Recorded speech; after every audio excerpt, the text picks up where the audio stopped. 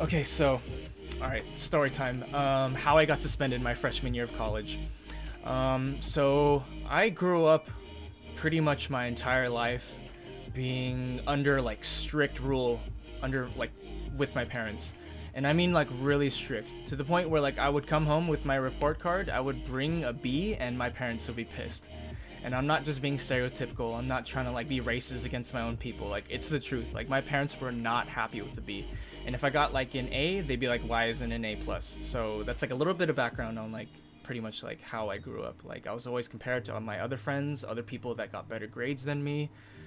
So when I got accepted into UC Santa Cruz, um, initially I was I was pretty upset because I wanted to go to UC Irvine. And if you guys don't know anything about UC Irvine, the only reason I wanted to go there pretty much is because 90% of that school is Asian. So I was like, oh, for sure, dude. 90% Asian. I'm going to have the best chances of getting with the ladies at the Irvine.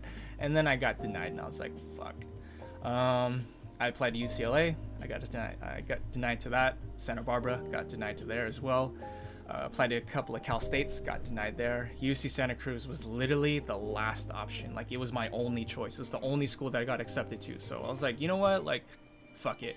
It's far away from home, but like, it, it's still the University of California. Like, I'll take it. So I went up there, and um, I pretty much, I pretty much ended up really, really not liking that school because if any of you guys live up in NorCal, like during the fall and like the winter, it's really, really fucking gloomy there. So I was like, this sucks balls, dude. I don't know anyone here. I'm far away from all of my friends and I don't like the forest. Like, I was not into nature at all. Like, I grew up in the city my whole life. So I was like a city boy, you know? So going to a school like smack dab in the middle of the forest, I was just like, eh, like, whatever. Like, fuck this shit. And so I pretty much had that attitude for I want to say the first the first month or two of my freshman year. I just went to class, I took notes, didn't talk to anybody, studied for tests, took them, and just like rinse and repeat. Um, I had a dorm mate, but even with him, conversations were really like shallow, like surface level stuff. Like, oh, how was class? Like, oh, cool. Like, oh, you want to get dinner? All right, cool but I never really like reached out to my dorm mate or anyone in my hall actually. I was just very to myself and I was like this fucking sucks and this is going to suck. But then I realized that you know what I mean like if I have that mindset of this is going to suck balls, then I'm going to have the worst year of my life or worst uh, fucking, you know, however many years I was going to be at that school. I was like so after a little while I was like, you know what? me being bitchy and pissy about the situation that I'm in is not going to help. So I'm just going to make the best of it. So I started talking to my roommate. We started hanging out. And from that, I started to meet um, like everyone else that lived in my hall. And this leads me to my next point. Um, one night, me and my friends decided to smoke. I had smoked a couple times in high school before, you know, I got to Santa Cruz, but I never really like considered myself a stoner. I did it a couple times and that was it. And um, I grew up being like super anti-drug. Like all my friends started smoking pot before me in high school, and when they did, like we would like be like, all right, dude, for sure, let's grab some dinner. Let's go to Chicken Dijon. They got some bomb dishes. Let's get it. And then I'd show up there, and of course, all my other friends were high, and I was the only one that was just like, like what the fuck, guys? Like what is? You guys are wasting your life away. You know that? You I'm so disappointed in you guys. Like, what the fuck? Like, legitimately, I was that fucking judgmental, which is pretty ironic now, considering that, like, I smoke weed every day now, and I welcome my followers to the ganja team. So, um, we ended up smoking that night, and we just went out, like, on a hike, just in the middle of fucking nowhere. Like, me and a couple of my dorm mates. And that night, I had so much fun and also we were listening to Bob Marley, so I was like, I get it, I understand why. And I ate some food too, so I was like, dude, I was like, I think, I think I've had the wrong impression about weed this whole time. Like, I was under the impression that like, if I smoked weed, I would uh, rob a bank, I would uh, get nowhere in life, and I would just sit on a couch, and that I would be kicking it in a McDonald's drive-through, not see a kid, you know, riding her tricycle, and then accidentally hit her because my reaction speed were. Uh, a little bit delayed. Yeah. So none of that happened to me. I realized that weed is actually not that bad at all. Started to really like it, and from there, that's when I started to experiment with other drugs. I was like, hmm, I really like weed. And then one of my roommates was like, hey, like, uh, we're gonna take shrooms next week. And you down? I was like, all right. Um, never tried it before, but fuck it, let's experiment. I was like, I'm eight hours away from my parents. They can't check up on me. I have more than enough money in my bank account to last me because I actually jacked all my books my entire freshman year. I saved about, I want to say like over $600 because I stole all my books. And with that money that I saved, I used it all on drugs. Actually, no, no, no. I take that back. I used about 500 on drugs and about $100 on food, I think. so then I took mushrooms. Had a blast. Was laughing for fucking hours, bros. Like I swear to God, I had like a goddamn 36 pack, and we were just like out in the middle of a field, just chilling, and like we were listening to music, and I feel like shrooms, like that first time, really had like an emotional impact on me.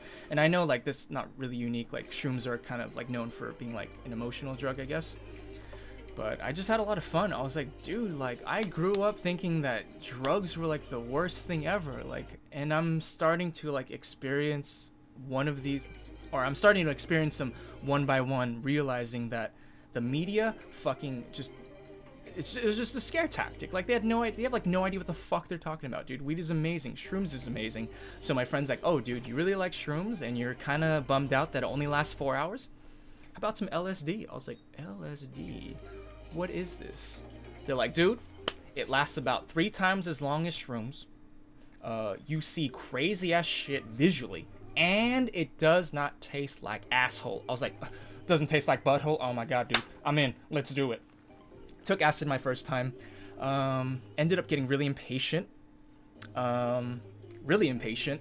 I was about two hours in, and I was like, I don't fucking feel anything. This is bullshit let me get two more tabs. My friend's like, no, no, no, this is your first time. You really should take it easy. I was like, here's $20. Give me two more tabs. So I took two more, which is a total of four.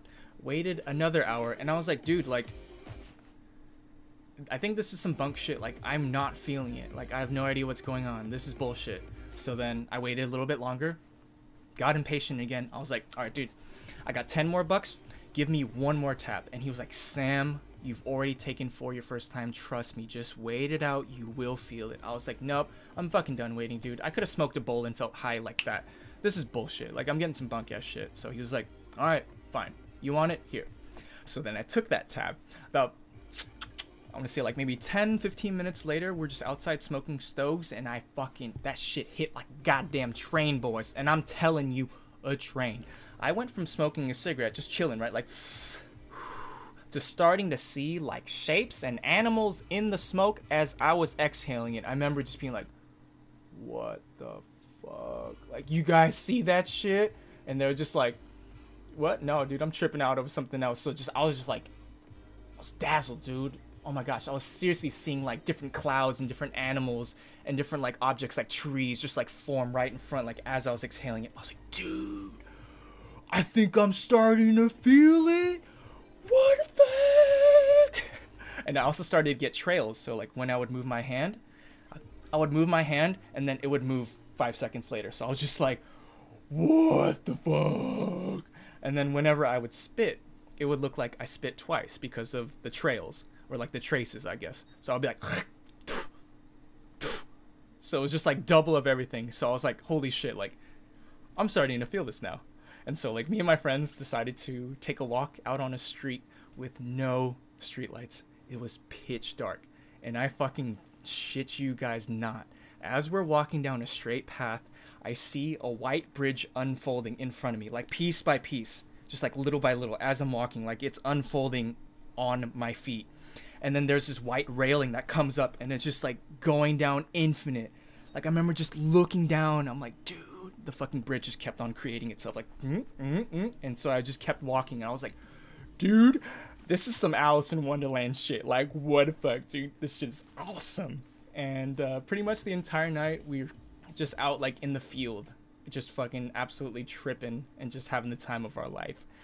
And then after that, I went on an acid binge where I did acid every week for, I think, two months straight. if you guys never done acid and you do plan on doing it in the future, don't binge on it. I'm telling you guys, it will leave permanent effects on your body, which I suffer from now, unfortunately. But I mean, live, learn from me. Don't binge acid. I had too much fun with it. I was like, this is my drug. I actually even like stopped buying weed just because I wanted more acid, and it was intense. Um, one time, like Transformers, kind of, kind of. And then um, my friend one time he was like, "Oh, dude, I got some I got some acid in a bottle, so you don't even have to put it on your tongue. You just take a couple of drops." And he was like, "Well, Sam, like I am planning on selling this, but I gotta make sure the product is good, right?" And I was like, "Yeah, I I I be your guinea pig. I I, test for you, no problems, no problems. For so for so, dude. I'm looking out for you, bro. I tested." so then, I took four I took four hits of acid and then went to class. Took four drops, grabbed my backpack, went on a fucking bus, and went to class. Yep, that, that was that was a good idea. That was a good fucking idea. And my professor, guys, he had a beard, right? Like like a great big bushy beard. I don't know if you guys get that reference, uh, but yeah, he had like a huge beard. And as soon as I got off the bus, that's when I started to like notice. I'm like, holy shit! Like, why am I seeing geometric shapes in everything? Like the pot plants, like, um, or like not the pot plants, but like the plants that were in pots, the trees, the like the cement, everything like was just simplified to like geometric shapes. And then I step into class. First thing I see is my professor standing there with the whiteboard and his beard. No fucking joke, guys. I am not shitting you. His beard was like a creature, dude I just saw his beard. It was just moving like this. It was like just all over his face, dude. And I had to pretend like I totally was not tripping, seeing the goddamn like fucking monster of a beast beard, and I had to just sit down in class and be like, okay, taking notes, taking notes. Okay, trying to take notes and uh, whenever he would write something on the whiteboard, guys, like let like let's say he started writing like on the top of it, he would write one line, it would just start bleeding down to the bottom. He would be writing the second line, and I wouldn't be able to see that because the first line was bleeding into the second one. And it got to the point, guys, where I couldn't take notes because all I saw were letters and numbers and periods and commas at the bottom of like the whiteboard where like the races are and shit. And I remember just being like, what the fuck? and I just looked at like my notebook where I was writing the notes, guys. Seriously, there was like a unicorn. There was like some crazy Egyptian hieroglyphics. Like, I don't know, dude. I think there was like some Chinese on there. Like, I had no idea what was on there. I was just like, all right, dude. Uh, all right, well, so much for taking notes. Uh, let's get out of here. So then I left class, went back to my dorm room, and uh, pretty much had to study for a test, which uh, I wasn't able to because I was tripping on four hits of acid, and uh, yeah, that it kind of makes studying hard. uh, went to class. Yep, I went to class, and it was the trippiest experience of my life. Oh my gosh! And um, so then after that, I experimented with other things. Um, I did salvia a couple times. Man, I don't really like salvia. I think salvia sucks balls. It's overpriced. And then I did coke a handful of times, but it was pretty much right around that time where when I was doing all of these things, I started neglecting important things like going to class, making sure I don't fail, not using shitty excuses to not go to class. Yeah. Um, my freshman, like my freshman quarter, I got two B's. I got two B's and an A. Winter quarter, two D's and an F. so then I got put on academic probation, and they're like, okay, for spring quarter you have to get at least a 2.0 GPA. I was like, dude, no problem, no fucking problem. I've been getting 4.0s my entire life. I can do 2.0. And um, by the end of spring quarter, I got uh, a 1.8 and I was hoping that they would round up, but I don't think they round up for people that they don't think are should be at their school. So, um, they're pretty much like you didn't meet the requirements that you needed to of getting a 2.0 GPA by the end of spring quarter. You are hereby suspended from this university as well as all other UCs for five years. They're like, you can appeal in front of like of you know not really like a full on court, but like a, a panel of uh, different people that were in charge of the college. Like you can appeal if you want, but that's your only option right now. If they don't accept your appeal, you're kicked out of this school. You can't apply to any other UCs for five years, and pretty much your parents are gonna fucking kill you. so my dumbass, like, of course, I was like, I'm gonna try to appeal. Nope, didn't even come close. And so I had to go home knowing that I would not be coming back up there next year. And I had to tell my parents that. I'm telling you guys, it was like PT was one of the scariest moments of my life in gaming, but having to tell my parents that news was by far the scariest experience of my life, like IRL. Like, and if you guys are Asian, you guys feel me. You guys feel me. And if you're not Asian, you should still feel me because you guys know Asian parents are mad ham about the goddamn academics. And so, um, I got really nervous and I never gave them, I never told them about it uh, because they sent it to me in email. And so for weeks, I was just thinking about it. I was like, oh, fuck, fuck. Like, how am I going to tell them? Like, there's no excuse. There's no way that I can get myself out of this. Like, I'm pretty sure, like, at that time, I was like, my parents are going to kick my ass. They're going to kick me out of the house and they're going to disown me. Like, I've never, never got even, like, anything below a C in my whole life. So I was like, dude, I'm screwed. I wasted over $20,000 worth of money just to have fun and do drugs and not go to school. so, one day I come home and my dad is there and he's holding a letter. And I'm sure you guys know where this is going. This was the letter that was sent to me by like by email telling me that I'm suspended from that school. I can't come back. I can't even reapply to any UCs for five years. My dad just looks at me and he's like, What's this? Oh, I, oh shit. Um, yo, dad, dude, did I ever tell you how much I love you, dude? You were so great at dry cleaning, dude. You are the best. I, I had nothing, guys. I had fucking nothing, and I had to, I had to face the music. with my parents. And um, here's the craziest thing about this story instead of getting what I thought was going to happen as far as their reaction and what they would do to me, I got the complete opposite. Like, I mean, complete opposite, like 180. My parents just looked, and I feel like this is worse. And I mean, I'm sure some of you guys can relate to me. Instead of getting super pissed, they just gave me the really disappointed look just like how could you like how could you do this to us sam? Like we worked our ass off to send you to college. Like how can you do this to us? I was just like oh my god dude oh my gosh. It was fucking terrible. I just felt like such a piece of shit of a son. And my parents were like well so i guess you should go to a community college figure out what you want to major in and then transfer out right?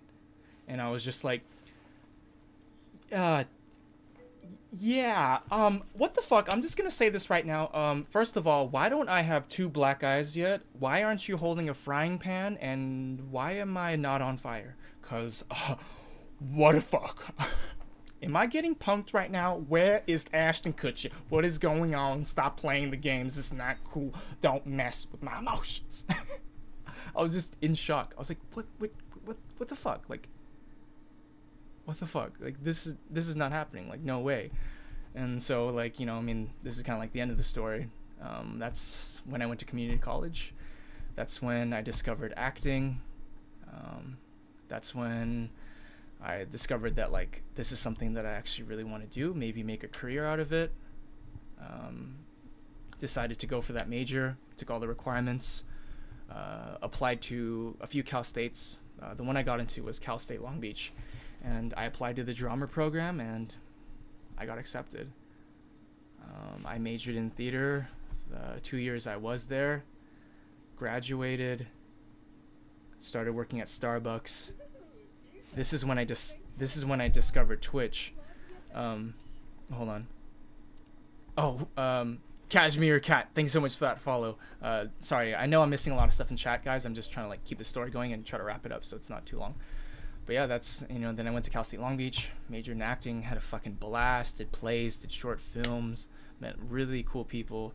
Um, some of those people being huge mentors to me, like who have like shaped me to be like the person I am today. And after that, yeah, I started working at Starbucks. I discovered Twitch, saw DreamWreck was streaming. I got curious about it, started being a viewer on Twitch. And then I got a PS4, started streaming myself, got this office job early this year. And I mean, and that's where I am today. so, um, as much as I do still feel really bad for all the money and time that was wasted that freshman year, I don't think I would be here today if it wasn't for all those events. So I live with no regret, and obviously, like I've learned a lot from that. So it was it was a good learning experience, but it was definitely one of the scariest, like having to tell my parents that. But yeah, there's like my freshman year in a nutshell, slash like the rest of college. Thanks for sharing this with us, Sam. Yeah, no worries, no worries. I mean, I hope the story was interesting for you guys. I hope you guys got a, a few laughs out of it. But yeah, I mean, I, I hope that was a good story. it's not one of my proudest moments, that's for sure, but I'm almost glad that like I flunked out of college because I got to go to community college with my old high school friends. I got to go to Cal State Long Beach and meet some really cool people and professors. If if I didn't flunk out, I would have no reason to kick it here after my community college classes. I wouldn't have saw DreamWreck streaming. I wouldn't have even joined Twitch, I don't think. And so I'm I don't regret any of that because I honestly think all those experiences have added up to lead me here today, which I think was well worth it because I love streaming. I fucking love it. I've been almost doing it for a year now and to just have all you guys' support, to have people who I've never seen like your actual face, for some of you guys I have because you guys are streamers, but to be able to like entertain you guys, to talk to you guys, to like share like other you know share stories with each other to make you guys feel better to like to give you guys a laugh when you guys are going through a rough patch like all these things like i fucking love about twitch i love that twitch has been able to make me make all these experiences happen you know? So i mean i don't mean to like get all like super feelsy and stuff but there's like a little little chunk of my life story right there. Good story sam. Hey thanks RCV. highlight this story